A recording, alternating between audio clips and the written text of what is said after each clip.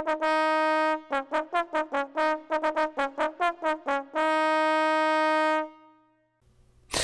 there YouTube, this is just a video I've put up because I was I've just been looking to fix this problem for um, about I don't know about 40 minutes or an hour and it was driving me up, up the wall and what it is it's the um, GeForce Shadow Play. Now I wanted to use it to record a video. Now if you just bear with me uh, you access it from running the uh, NVIDIA GeForce Experience. Now I've got a uh, NVIDIA GTX 670.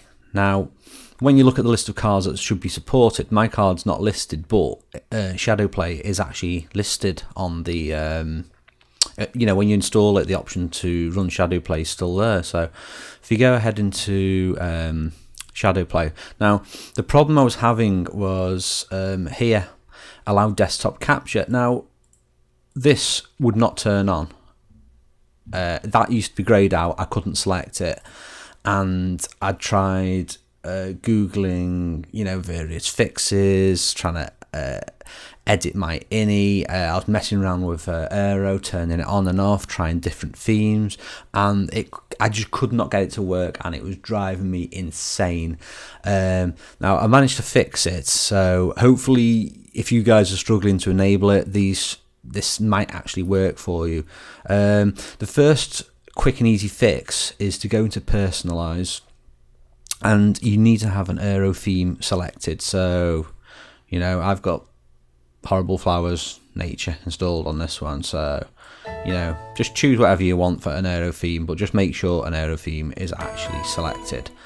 Um, what the hell's going on there? Whoa, that's like some crazy Discworld. Is that Discworld? I don't know. Yeah, but try that first of all, um, and then see if you've got the option enabled. Now, if you're lucky, it will instantly enable it, and then you can go ahead, play your games, press Alt and F9, and do all the good stuff.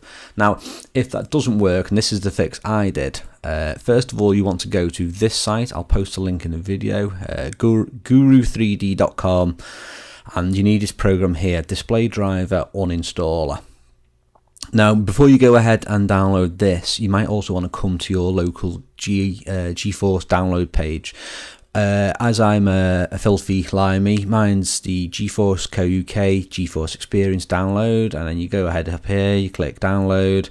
Uh, the latest version, as the time of recording this video today, 8th of March, is version 2.2 2.2.2.0. Um, what? No. Um, yeah, so go, you go ahead download that, and then if you're um, if you're from the, uh, I think they are they actually the same version? They might actually be the same version. Um, I was redirected to the UK site, but that looks like it's actually the same version because they both say international. So that will download that one there. It's quite a big download. I think it's about 200 meg. Um, oh no, it's not 33 meg. That's not too bad. I think it does go through an install process though, and will install more. And the other program you need that one here. That's the uh, DDU uninstall program, which is only one megabyte. Um, then what you want to do is go ahead and reboot your computer into um, safe mode. Um, once you're in safe mode, you then go ahead and you run this program here, and it's the the executable is this one here. Um, I'm going to run it now, but I'm not actually going to run it, if you see what I mean, because you need to do it in safe mode.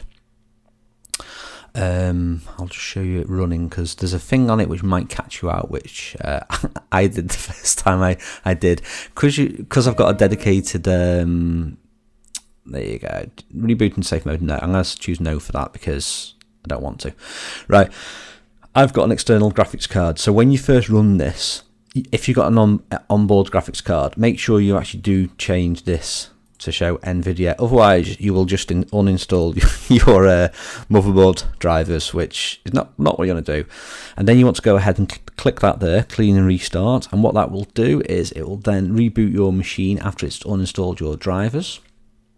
And then you simply just need to go into your GeForce uh, experience and run that and then that'll go through all the gubbins of uh, installing the um, drivers for this one now. Uh, as I've already got it installed, it's probably going to come up with some funky error. Um, there you go, going through the install. Um, I'm not going to go through it now because you know I've already got it installed, so I'm going to cancel out of that. But then hopefully once you've installed and rebooted, when you then go into the options for the um, NVIDIA GeForce Experience, should hopefully be able to enable this. And I'd, as I said, I, I tried an hour messing around, and sometimes with computers, it's the most simple fix. So I don't know if it's just a, a, a reinstall of the um, the, the um, the actual software that's fixed it for me or if it's using the um, uninstaller but all I know is it worked for me so I'm just grateful it's finally worked now so I can get on with having a go at recording with it. So hopefully this this video will be helpful to you guys and girls. And if it does leave a comment below and I'll, I'll reply and uh, yeah try and uh, give you any help I can. Okay this is Shirlierox signing out